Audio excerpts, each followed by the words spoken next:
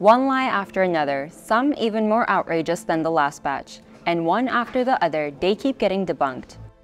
Since October 7, Israel has employed a well-orchestrated PR campaign to change narratives it dislikes, spread false information, and drum up support for its decades-long occupation of Palestinian territories and its brutal onslaught on blockaded Gaza.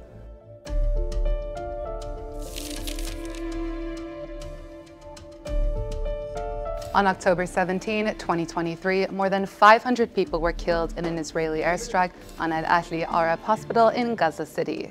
Tel Aviv denied responsibility and pinned the blame on the Palestinian resistance group Islamic Jihad, which denied the claim. Independent investigators and weapons experts analyzed videos and ultimately concluded that the Israeli military was responsible for the strike. Then in November, the Israeli army, which said it would never do such a thing as bombing a hospital, bombed and raided Gaza's largest hospital, El Shifa, alleging that Hamas was operating a command center in tunnels beneath the complex, a claim repeatedly denied by both Hamas and hospital administration. The Israeli army even shared a fabricated 3D animation to reveal what the tunnels apparently looked like. But since Israeli forces finally gained access to the hospital, the military has yet to provide concrete evidence of subterranean Hamas command center. Instead, all the public got were videos showing now debunked evidence. Remember the infamous calendar at the Al Rantisi hospital? There is a list. And the fake nurse at Al Shifa? The world has to know, has to know what Hamas is making here. They're taking over the entire hospital.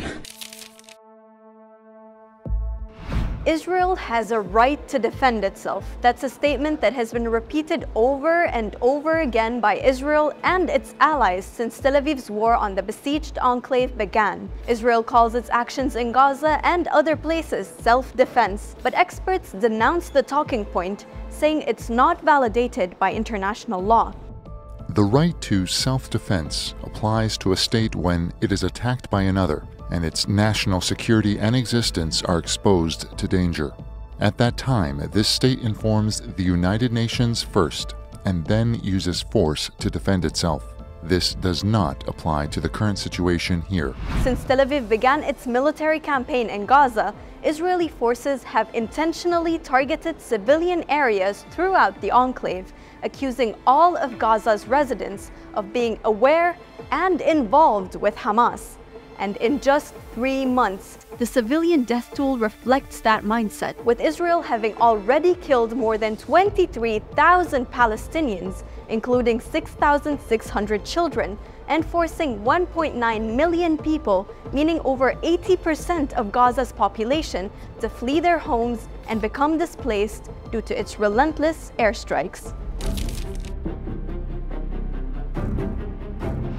Considered a racist and colonialist ideology by many, Zionism is a foundational principle in Israel's right to exist and in its right to expand. Israel has long worked to weaponize and conflate anti-Semitism and anti-Zionism so that anyone critical of the Israeli state or its action is invariably and automatically charged with anti-Semitism. Israeli authorities use any and all anti-Zionist rhetoric as a political tool to undermine and smear critics and Palestinian advocates, and to discourage Jews critical of Israel's inhumane and illegal activities from speaking up. The Israeli military has used deadly weapons and ammunition, including white phosphorus shells, in its attack on Gaza, a clear violation of international law. Despite this, Prime Minister Benjamin Netanyahu continues to repeat that the Israeli army is the most moral army in the world. A tired trope and a macabre myth Israel continuously employs to justify its disproportionate use of force and its deliberate killings of thousands of civilians. Throughout its latest and ongoing bombing campaign in Gaza, Tel Aviv has been claiming that Palestinian civilians are being killed because Hamas is using them as human shields. However, no evidence has been put forth to substantiate this claim, and even international organizations have been unable to verify it. In fact, rights groups argue that the use of human shields is actually a common practice employed by Israeli soldiers. Even the safe zones in Gaza aren't safe. Soon after ordering Palestinians in northern Gaza to move to the south, which it assured would be a safe zone, Israel began bombing the southern region, alleging that it was also a center of Hamas activity. Israeli officials designated Al-Mawasi in southern Gaza as a safe zone that would have access to humanitarian aid. Yet, what displaced Palestinians found instead was a desolate wasteland without any infrastructure. Following the killing of Al Jazeera journalist Samer Abu Daqqa in Gaza, the Israeli army stated on December 16 that it has never and will never deliberately target journalists. However, since October 7, Israel has killed at least 109 journalists in Gaza.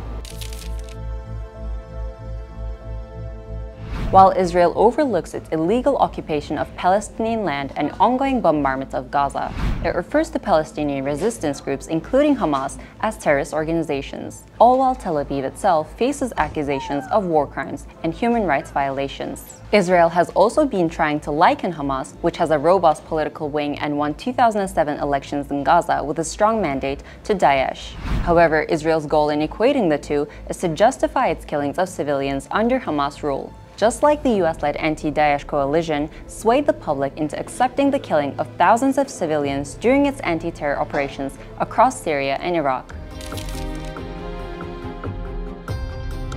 Following Hamas's attack on Israel, Israeli media reported that the Palestinian group had killed at least 40 babies, quoting Israeli forces as the source of this information. A spokeswoman for Prime Minister Netanyahu's office corroborated the story, saying that babies and toddlers had been discovered with their heads decapitated. But soon thereafter, international journalists and news agencies who had reported the story walked back on their reports. And Israeli officials said they could not confirm that any babies had been beheaded. Soon after Tel Aviv began bombarding Gaza, Israelis started accusing Palestinians of acting and faking deaths and destruction. Many took to social media posting videos wearing makeup and fake blood to mock wounded Palestinians and making claims that dead Palestinian babies were actually dolls as part of a trend ridiculing what they called Pallywood, a term made up of two words, Palestine and Hollywood.